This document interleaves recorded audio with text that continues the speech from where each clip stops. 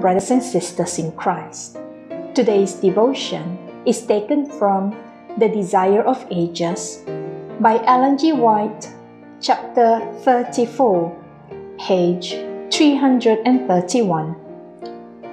The yoke is placed upon the oxen to aid them in drawing the load, to lighten the burden.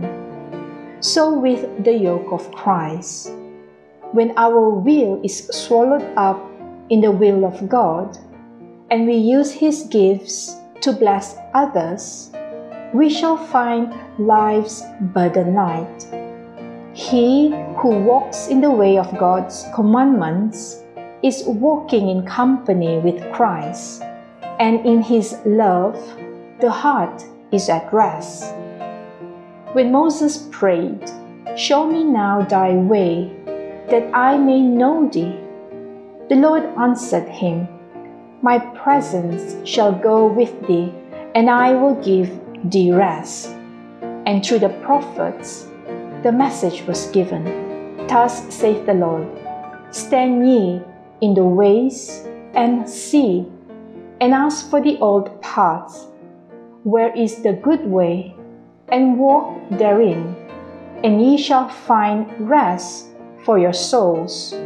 Exodus chapter 33, verses 13 and 14, and Jeremiah chapter 6, verse 16.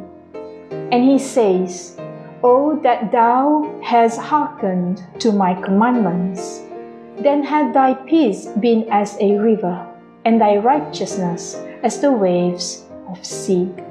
Isaiah chapter 48, verse 18. What do you use your gifts and talents for? Do you use it for self pleasure or to help others? Let's pray. Heavenly Father, I thank you for the many gifts and talents that you have given me. Help me to realize that these gifts were given to me so that I can be a blessing to others.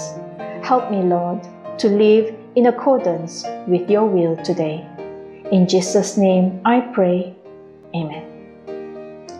May you have a terrific day ahead of you. Goodbye.